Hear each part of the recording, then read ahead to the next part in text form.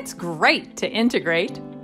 Let's take a look at Commercient Sync for HubSpot and a sample ERP. First, we'll review Sync bringing that valuable ERP data over to your HubSpot CRM to inform and empower your users there.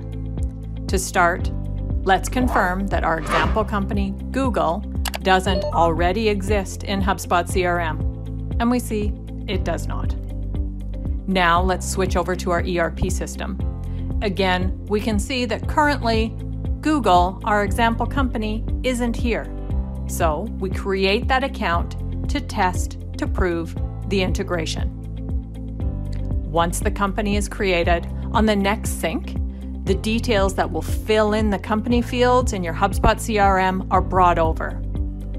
First, we can now find Google is indeed in our HubSpot company list. And as you scroll through that company, you can see all the information the sync has integrated.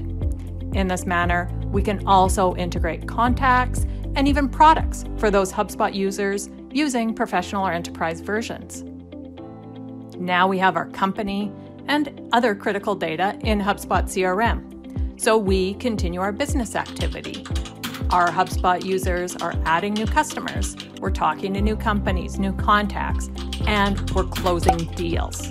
So let's look at integrating that valuable HubSpot data back into your ERP. For this example, we'll use a contact.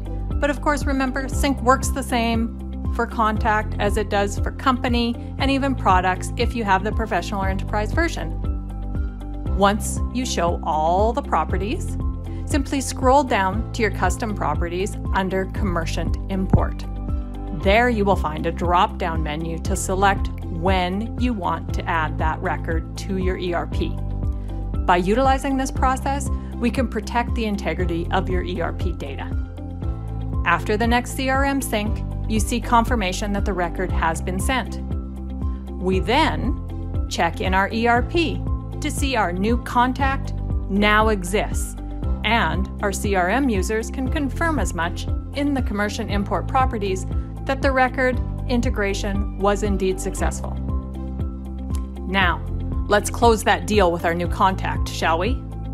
Again, we click to view all properties of the deal and scroll down to the Commercient Import fields and choose to send the deal to our ERP to create, in this example, a sales order. This could as easily be a work order, an invoice, purchase order, whatever will match the process of your organization is what we create in your ERP for you from that closed deal information.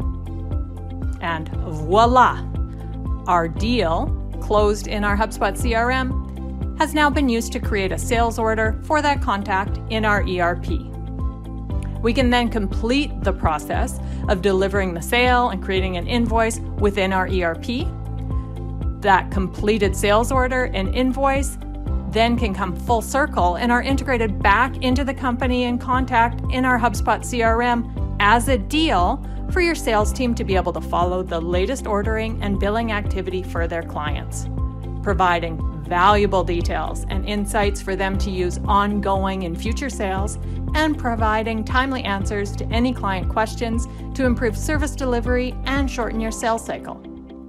Integrating your critical ERP data with HubSpot CRM, it's everything with Commercient Sync.